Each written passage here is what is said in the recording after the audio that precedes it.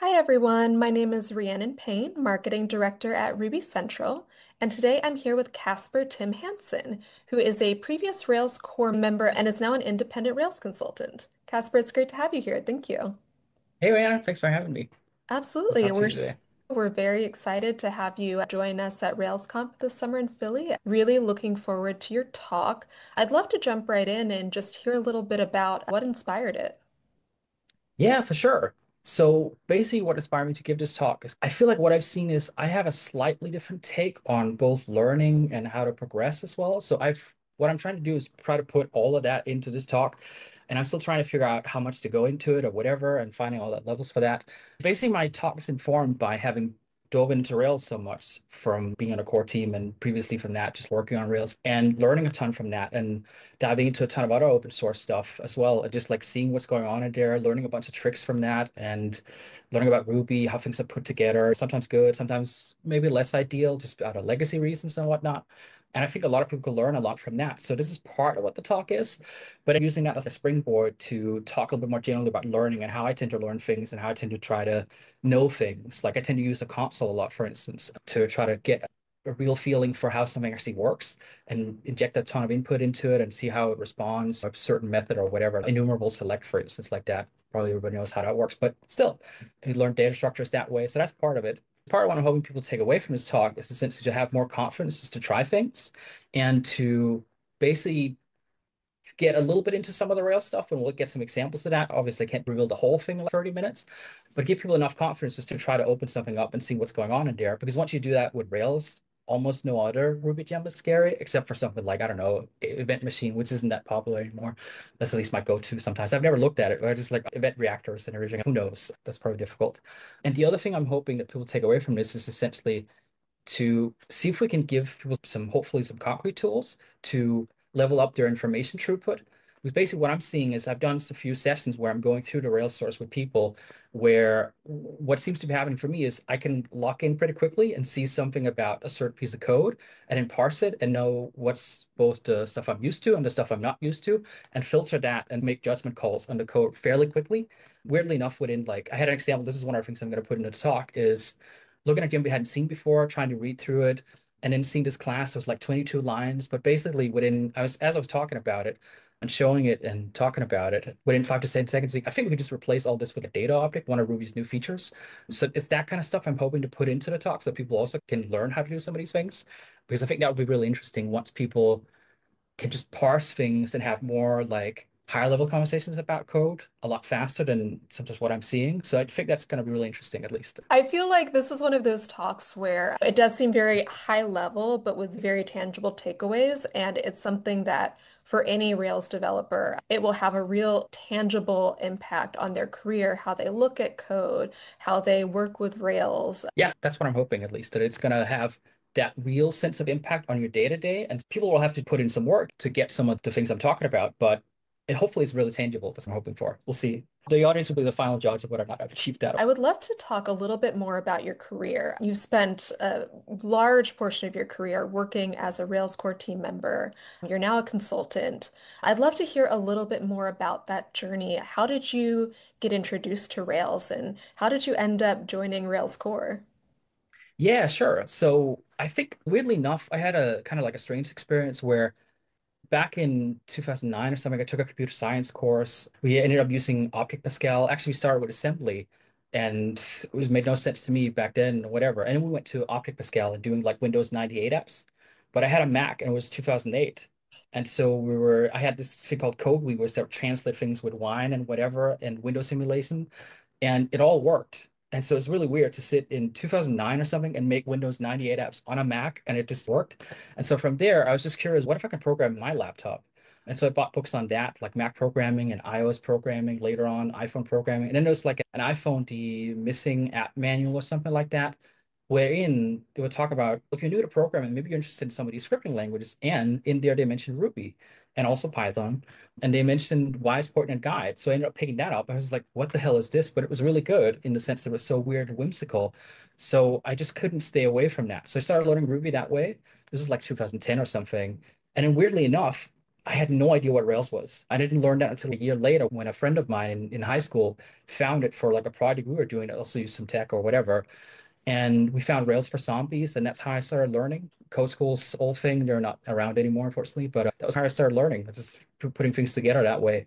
And from then on, it was just reading documentation, trying some things out. And in, in 2013, I happened on the Rails blog one day, and they were just looking for Google Summer Code students. And so I just worked for two weeks. I just happened to see it. So there's like two weeks to the deadline. So I worked on it for two weeks and I proposed to submitted that. And I was like, no, no, I'm going to pick that. But then they ended up doing that. So I ended up working on what became like the Rails HTML sanitizer and Rails DOM testing, which then used Loofah under the hood, which then used Nokogiri under the hood, because Rails was using like a regex-based HTML parser internal, which you're not supposed to be doing.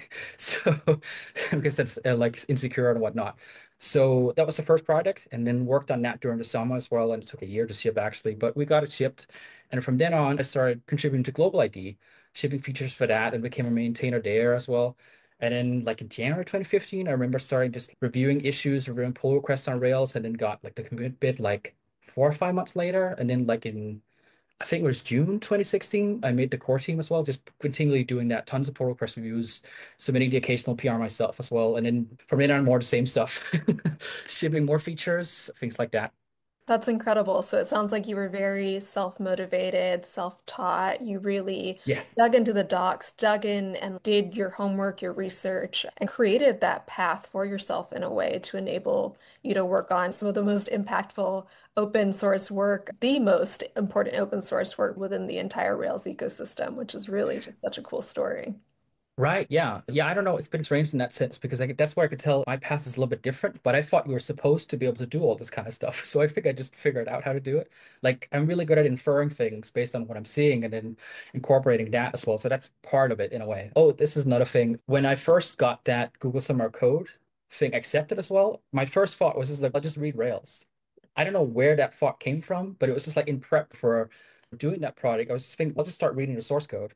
And again, I was like a junior at that time. I don't know who else would think that way in a way. Not trying to toot my own horn or anything, but it's just it's weird when I look back on it. But I thought we were just supposed to be able to do this kind of stuff, so I just started doing. It. I still learned a ton from just peeking at things, and so that's part of what I'm hoping to put into the talk as well as like really just click things. Like it is part of it. It's just once you get over the fear of blasting yourself with a new source file, the whole game changes essentially because it's oh, it's just a complex source file. This is the complex source file I don't know all what's going on here, but this little bit I know. Cool. And then you can start with that kernel and spin it out. Or maybe we can grab this thing and try to put it in a console, see if you could get it work there. Or, oh, this seems to work on an array. Okay, how do I give it an array then to then call the method on it? Yeah, you can piece things together that way. So that's part of it too. Hoping to put into the talk. We'll see. There's so much, and I feel like you have so much experience as well to try and figure out how to condense that into I know. what 30 minutes is really Yeah. challenging.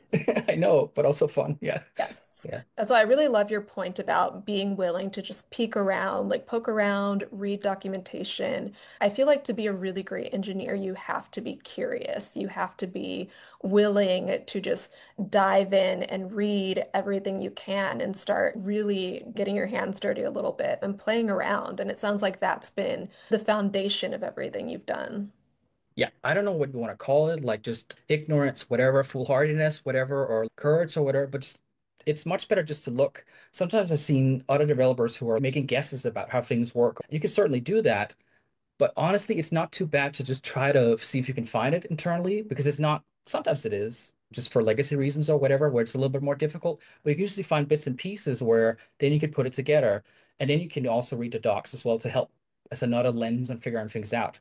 Yeah, Yeah. and then the layer on top of that would be actually starting to contribute to open source projects as well. And I know we have a lot of folks in the community who haven't contributed to open source yet, but are really curious about it and just don't know where to start. Is there any advice that you would give to a developer who just hasn't made any open source contributions at all, but wants to get started, feels overwhelmed?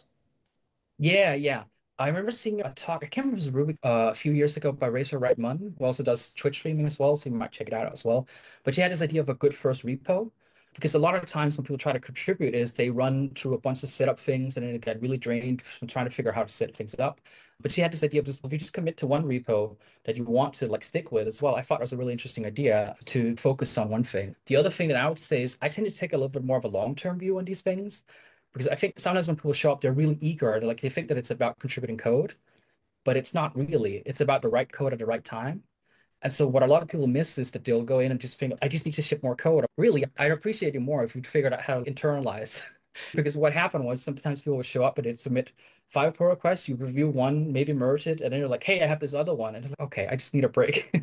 or I really wish that you had sent one each week or whatever to try to internalize what went right or what you can improve there as well. And then my other thing is just read more of the code, essentially. Read more than you think you need to. It's about building all that context to figure out where it fits in and also just being able to explore multiple ideas. That was the thing I saw a lot where people were not, which is fair.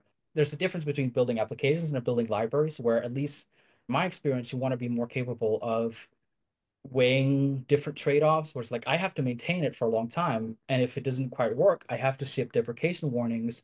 And then that's a whole thing. So it's just a slightly different mental model, which you learn over time. And then I think another thing I also suggested was how I started was just going to github.com slash rails slash rails and then click watch and just drain the fire hose of everything that happens on there. I think you can filter a little bit by now where for different things or whatever, only comments or something like that. But you'll see who's on there, how to write, and what gets merged. You can also read merge pull requests. That's also a great way to see it. Oh, they happen to get that accepted. This is a great way to learn about any open source repository, essentially. Just yeah. Yeah. That's great advice. And I think sometimes it's also the issue where maintainers are usually quite a near burnout. and so someone else showing up like, hey, I want to help then it's okay, but I don't know what skill level that person is at or what they are capable of. Sometimes it's also in the pull request and in the pull request description demonstrating that you can do things and you know how to do some things yourself as well, and that you're basically the person who can carry this through. Because otherwise, it's just I don't really want to deal with that. It's oh. kind of unfortunate, but that's part of it right now, unfortunately. Absolutely. Open source is a very challenging and almost thankless in a way thing to do at the end of the day. The community really relies on this amazing open source work, but it is really hard as a maintainer to continue to manage the project, manage different pull requests, etc. So I think being mindful of that's important. Yeah. Yeah. What kind of work are you doing these days? You're no longer with Rails Core. How did that set the foundation for the rest of your career now? And what kind of projects have you been working on?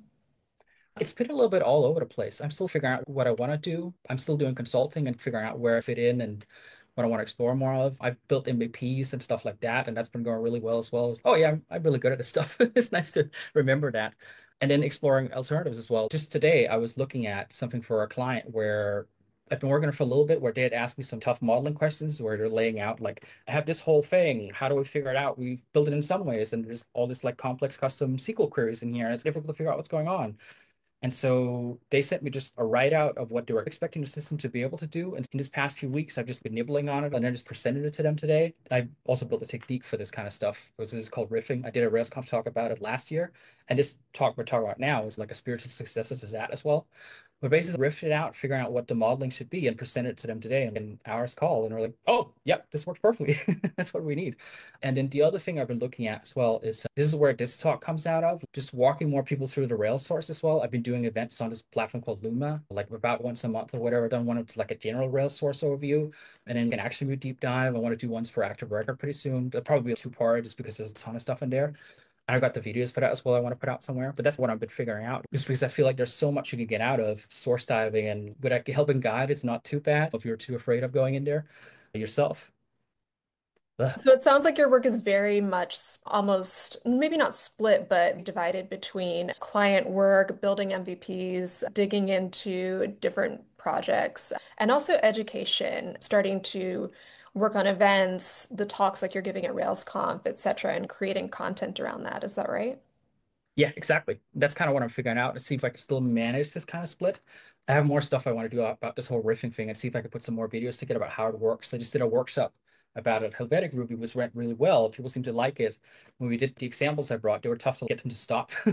so it seems like getting it, but it gets really cerebral really quick, which is ironic. People can see the RailsConf talk as well. I'm also a fan of doing live demos and talks. Last year was my first talk, and I was just being a little bit ambitious as well because I like the idea of doing live demos in the sense that you can't hide in that, as opposed to doing the whole editing or whatever, putting together pretty slides. And I was like, there's nothing wrong with it. It's just like I outing myself and then we'll see what happens. This is very honest. And I had no idea that when I got on stage that I could not add two and two together. So it became really difficult. So you can see that if you want to. Me trying to put together, because we're essentially trying to figure out, we have a prompt for thing we're working on. So I'm trying to figure it out as we go. People seem to like it, so that's nice. Some people found it inspiring, so I'll take that. Thank you. That's awesome. I'll take Yeah, that. it really is like incredible sometimes when you present something to an audience and maybe you don't really know how you feel about it yourself, or you have a very high bar for yourself. And then to see folks really appreciate it, get value from it, learn from it is very gratifying. Yeah, definitely. Yeah, I was really caught off guard later on with the speaker's reception. I was standing at the bar trying to order something, and someone else just leaned in and said, "Hey, your talk was expiring." Oh, hey, hello. It was very nice. That's awesome. That's Yeah. one of those great conference moments. And I know you've been to quite a few RailsConfs and RubyConfs over the years. You mentioned that last year was the first time you actually spoke at a RailsConf. I'm curious, do you have any favorite RailsConf memories from over the years? Anything that comes to Uh, yeah, I think it was since it would be the talk last year, just because it was like a huge breakthrough. Because I've weirdly enough, for the longest time, I was like I don't know what to talk about. Had the same thing that everybody else talks about. I don't know what I contribute, and I wanted to be like more original or whatever. So that was what the riffing idea was last year. It was more my own kind of thing, and now it's just like that thing has been popped or whatever, and now it's more about what if I can take this idea and figure out how to it down so it'll hopefully fit. I'm still maybe slightly too ambitious in talks. We'll see how it goes this year. I'm still curious to see how it's gonna go. I think it's gonna go well, but I'm trying just putting a lot of stuff in there, and then hopefully people will take their takeaways. I have my intention on what I want to do with it, more confidence to explore things, and also just upgrading people's information throughput as well is what I like to call it when you're just like engaging critically with code as opposed to just quote unquote passively reading it. So we'll see, but yeah. Yeah, All right. that's awesome. But we're really excited for your talk, really excited to see you in Philadelphia this summer. Just looking forward to hanging out with all our Ruby friends. yeah, definitely, yeah, yeah. Absolutely. Cool, Kasper. We'll see you Cool. there. See ya.